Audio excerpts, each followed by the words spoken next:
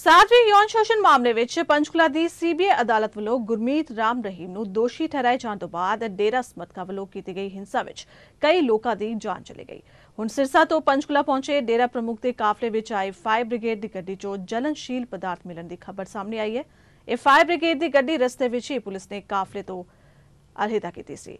ਇਸ ਦੀ ਤਲਾਸ਼ੀ ਮੌਕੇ ਇਹ ਤੱਥ ਸਾਹਮਣੇ ਆਏ ਕਿ ਗੱਡੀ ਵਿੱਚ ਵੱਡੀ ਮਾਤਰਾ ਵਿੱਚ ਜਲਨਸ਼ੀਲ ਸਮੱਗਰੀ ਲਿਆਂਦੀ ਜਾ ਰਹੀ ਸੀ।